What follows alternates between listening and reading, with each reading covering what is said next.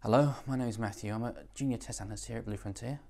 My role here is to test clients' websites and other assorted software projects so they meet the client's expectations and Blue Frontier's.